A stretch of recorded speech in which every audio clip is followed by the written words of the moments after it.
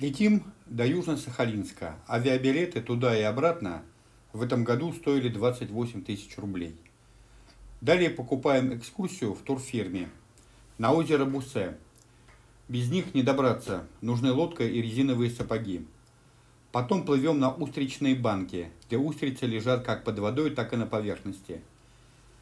Вы идете по устрицам, берете любую, открываете, едите свежие живые устрицы. С лимонным соком они вкуснее. С собой желательно иметь нож и устричные перчатки.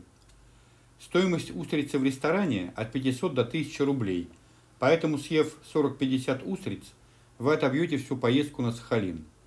И уже бесплатно попробуйте морского ежа, посмотрите на нерп и искупаетесь практически в Тихом океане.